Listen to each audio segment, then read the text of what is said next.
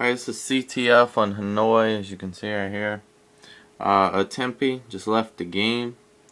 This is just in the middle of the game. I don't know why or whatever. But um, yeah, I'm just gonna let it play here and show you. Watch, I think yeah, his friend leaves here. Just a little bit right after.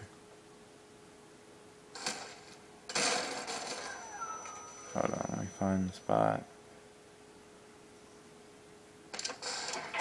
Yeah, right there. Xander left the game. That's both of them out. We were up 2-1 right there. That's first side. They never played second side uh, for this map or whatever.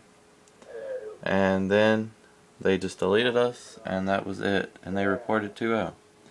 So, yeah, they just no-show for the next maps. Thanks.